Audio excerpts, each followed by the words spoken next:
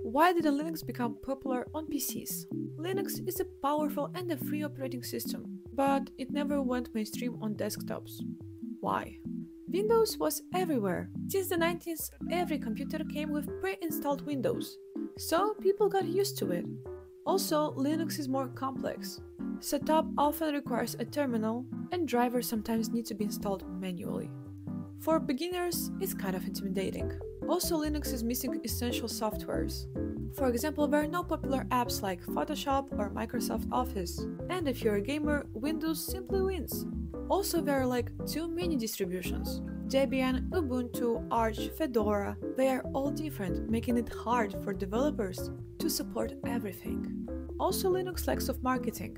Linux was always associated with geeks and hackers.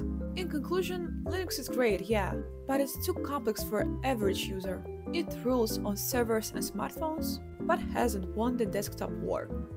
Yet. Meanwhile, our web hosting WebHostMost is great for both everyday users and hardcore web developers.